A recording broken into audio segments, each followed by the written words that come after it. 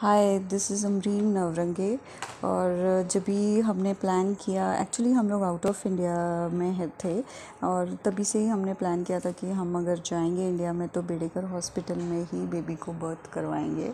And the experience was very nice और uh, ये doctor को हम अभी से नहीं मतलब हमारे ग्रैंड पेरेंट्स भी पहचानते हैं डॉक्टर विजय बेडेकर को।